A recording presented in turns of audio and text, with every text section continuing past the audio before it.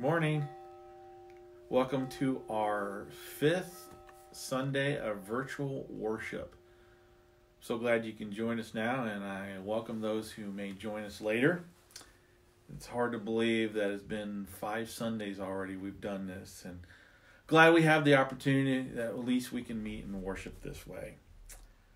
I wanted to read a scripture verses to you this morning from Genesis the very beginning of chapter 1. And this is what it reads In the beginning, God created the heavens and the earth. Now the earth was formless and empty, darkness was over the surface of the deep, and the Spirit of God was hovering over the waters. And God said, Let there be light. And there was light. God saw that the light was good, and he separated the light from the darkness. God called the light day, and the darkness he called night. And there was evening, and there was morning the first day. And God said, Let there be a vault between the water to separate water from water. So God made the vault and separated the water under vault from the water from above it. And it was so. God called the vault sky. And there was evening, and there was morning the second day. And God said, Let the water under the sky be gathered to one place, and let dry ground appear. And it was so. God called the dry ground land, and the gathered waters he called seas, and God saw that it was good. Then God said, Let the land produce vegetation, seed bearing plants and trees on the land that bear fruit with seed in it, according to their various kinds. And it was so. The land produced vegetation, plants and plants bearing seed according to their kinds, and trees bearing fruit with seed and according to their kinds. And God saw that it was good. And there was evening, and there was morning the third day. And God said, Let there be lights in the vault of the sky to separate the day from the night, and let them serve as signs to mark sacred times and days and years. And let them be lights in the vault of the sky to give light on the earth. And it was so.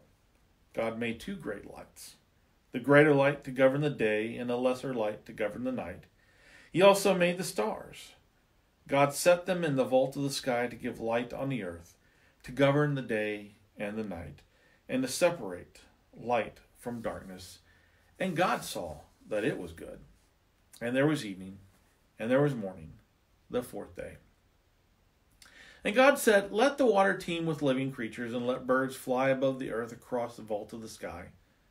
So God created the great creatures of the sea and every living thing with which the water teems and moves, moves about it, according to their kinds, and every winged bird according to its kind. And God saw that it was good.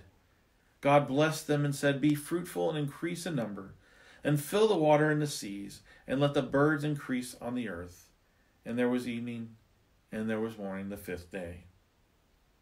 And God said, Let the land produce living creatures according to their kind, the livestock, the creatures that move along the ground, and the wild animals, each according to its kind. And it was so.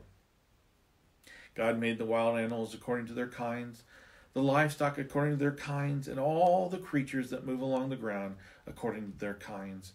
And God saw that it was good. Then God said, Let us make mankind in our image, in our likeness, so that they may rule over the fish in the sea and the birds in the sky, over the livestock and all the wild animals, and over all the creatures that move along the ground. So God created mankind in his own image. In the image of God he created them, male and female he created them.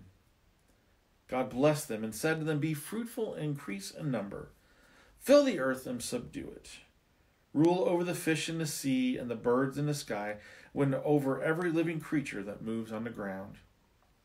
Then God said, I give you every seed bearing plant on the face of the whole earth, and every tree that has fruit with seed in it. They will be yours for food. And to all the beasts of the earth, and to all the birds in the sky, and to all the creatures that move along the ground, everything that has the breath of life in it, I give every green plant for food. And it was so. God saw all that he made, and it was very good. And there was evening, and there was morning, the sixth day. There was a surgeon, uh, architect, and a politician that were arguing one time. Who had the oldest profession? Well, the surgeon said, and the scriptures say, that God took a rib from Adam, so that was the first surgery, so he had the oldest profession.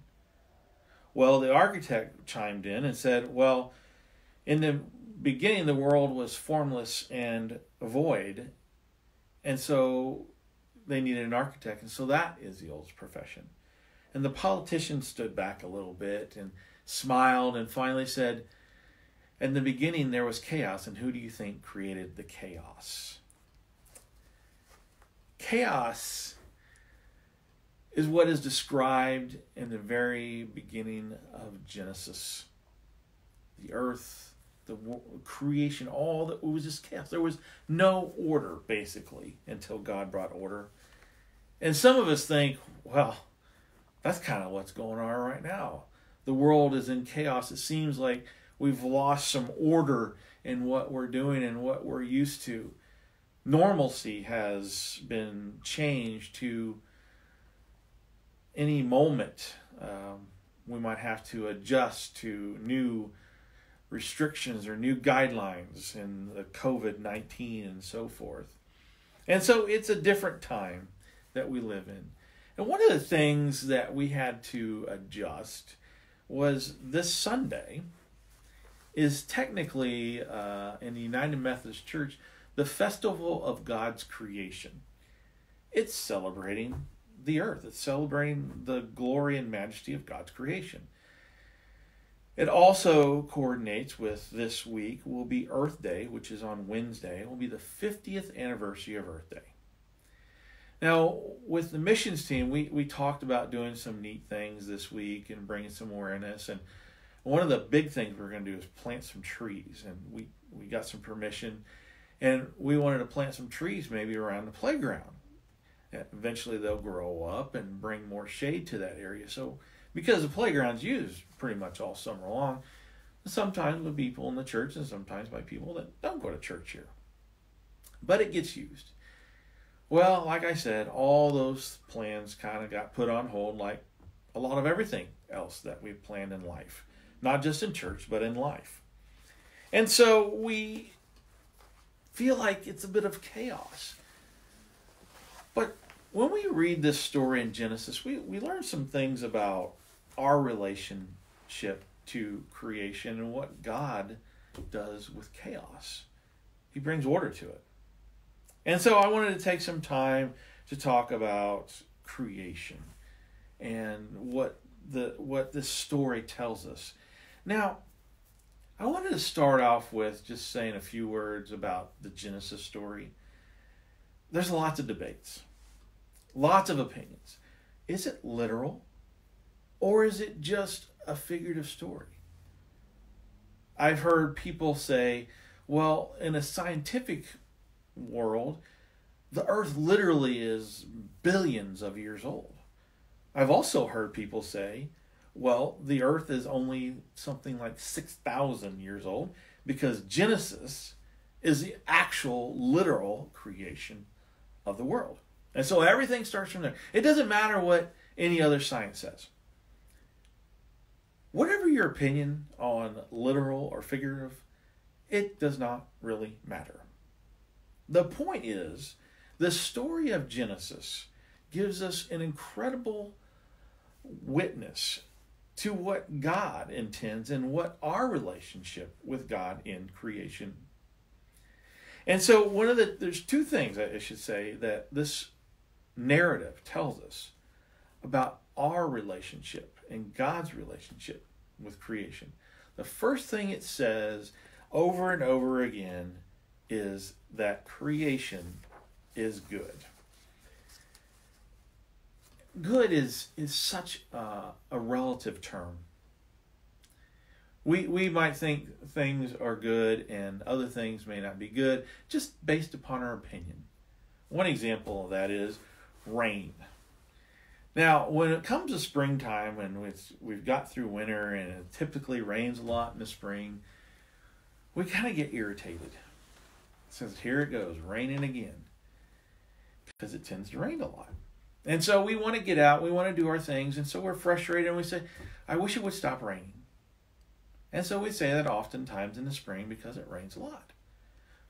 But when we get into July, maybe August, we start complaining because it's not raining enough.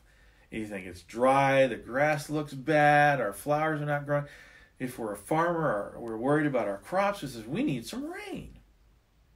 So goodness and our way of looking at things can be a little bit emotional depending on our mood and what our desires are for that moment. But when the scriptures talk of God, goodness is consistent. So when it says that God created and it was good, it is good. All the things that we see around us. You know, some of us, we love to look at the, the sunrise or the sunsets, and we see the beauty there. Some we look at the stars and the moon and the planets, and we think, wow, that's amazing. It's majestic to look at those things.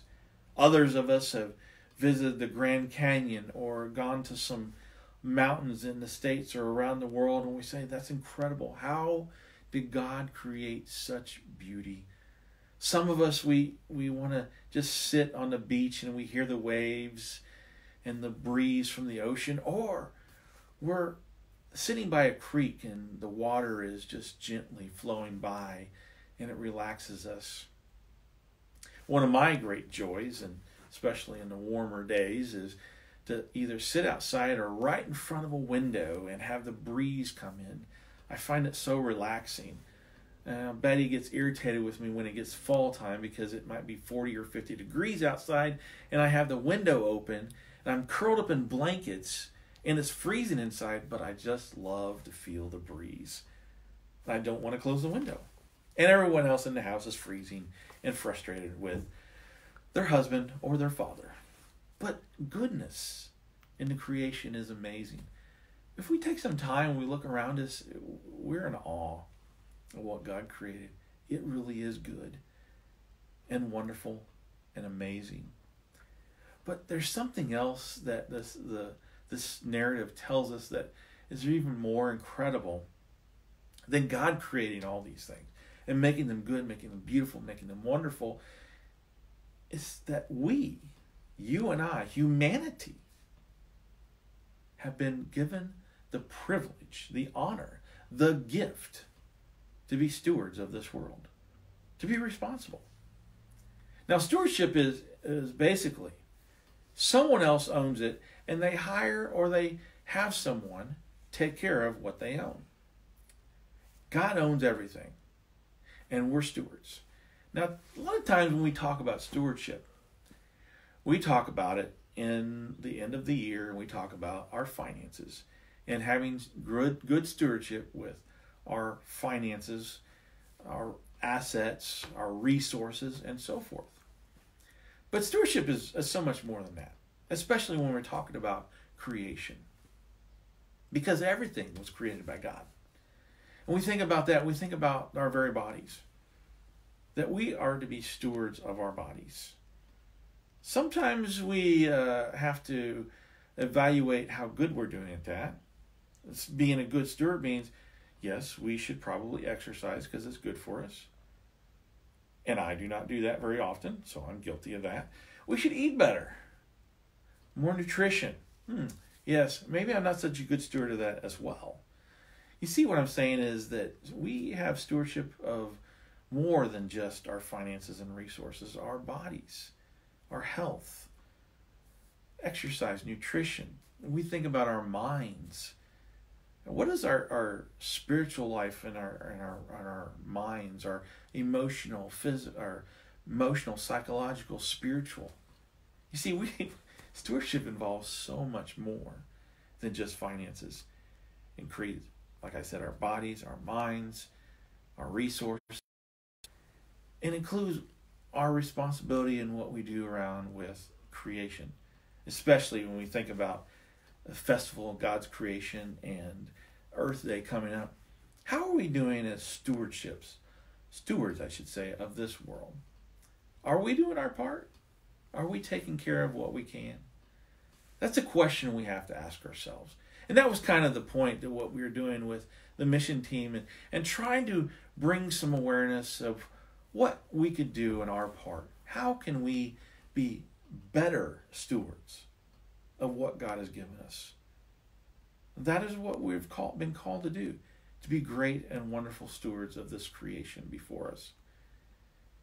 And so we are reminded this day of God's wonderful creation, the beauty around us, the sunshine when when it sun shines, the rain when we want it and desire it, sometimes when we don't, but it's all required, it's all necessary. Even for you that don't like the cold, it's part of the natural order of things. The beauty of the world. And it takes all of us, all of the world, doing our little part. If we are a believer in Jesus, if we're a follower, we have a little bit more accountability for this because we have the truth of Scripture. We have the truth that God says, I have created. I have created it good. And so, if we know this, and we know that we have been given stewardship of not only our resources, our bodies, our minds, our relationships, whatever it may be, if we have stewardship of this world, we have a responsibility. And so, how are we doing today? We think about it ourselves.